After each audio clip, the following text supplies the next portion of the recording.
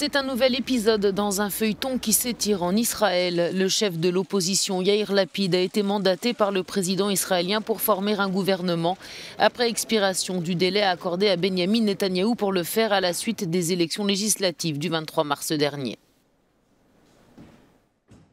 D'après les recommandations, il est clair que le député de la Knesset, Yair Lapid, a les meilleures chances de former un gouvernement qui gagnerait la confiance du Parlement même si les difficultés demeurent nombreuses. Autant dire que la réaction du patron du Likoud a été cinglante. C'est une vérité simple, ce sera un gouvernement de gauche dangereux, une combinaison mortelle mêlant manque de méthode, incompétence et irresponsabilité. Chef de la formation centriste Yeshatid, Yair Lapid cherche à former un gouvernement d'union nationale ralliant la droite, le centre et la gauche. Objectif chasser du pouvoir Benjamin Netanyahou, jugé en ce moment pour corruption et malversation dans plusieurs affaires.